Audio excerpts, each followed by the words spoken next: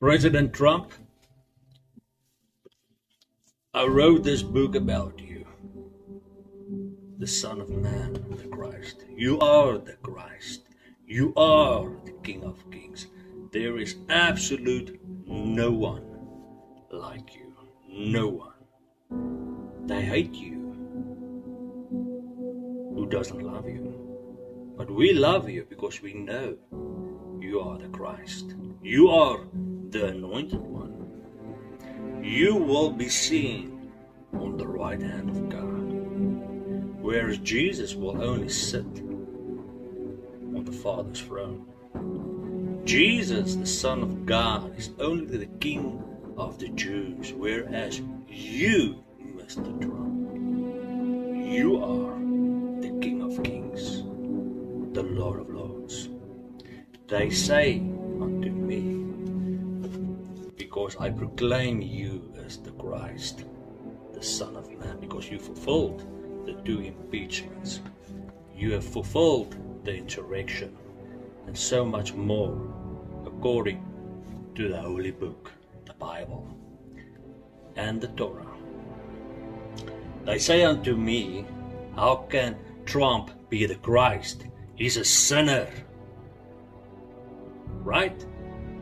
But Jesus said in Matthew 11 19, he's speaking about the Son of Man in the third person. He said, The Son of Man came eating and drinking, and they say, Here is a glutton and a drunkard, a friend of tax collectors and sinners.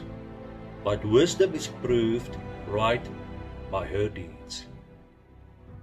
Mr. Trump, you are the Son. You are that sinner.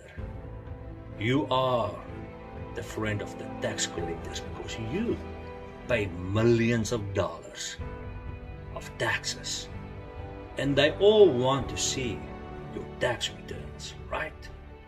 They all want to see that. But they say this man is guilty of many sins. He's a sinner. Lock him up. But you, Mr. You are the King of Kings and the Lord of Lords, and you will be seen on the right hand of God, whereas Jesus will sit on the throne of the Father, because they have no eyes to see that the throne of the Father is different from the throne of God. They have no eyes to see that in that same Bible that the glory of God differs in color and size from the Father's glory. They have no idea who you are, but I recognized your voice. I know who you are.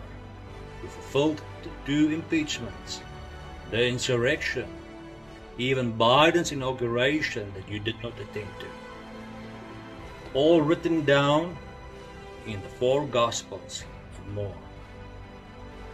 People read that Bible and they don't see you.